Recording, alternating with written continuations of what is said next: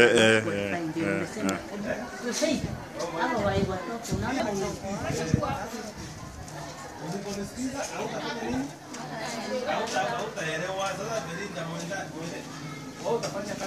Actually, we are very grateful.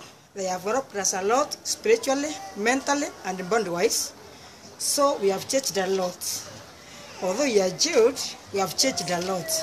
When you come out here, when you come outside, please accept us. We are very much, we have, we have very much changed a lot. So don't call us prisoners, call us your sisters, your mothers, your father, your associates, and, and everything else. Uh, today we are pleased to, to, to have uh, the first bunch of uh, 26 uh, inmates in uh, Meru Women Prison who have been released, who and their orders released, uh, devised to serve a community service order.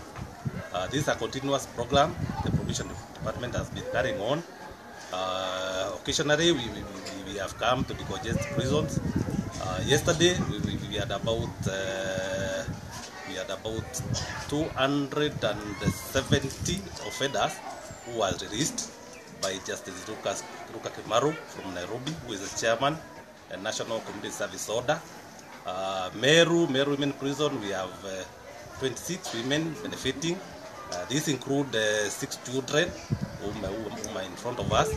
And then males, we have uh, 20, 27 then we have another group from Moruko prison. We have uh, we have about 80, and then we have uh, another group of uh, aliens from Ethiopia who are, who are supposed to be repatriated. It's a group of about 130.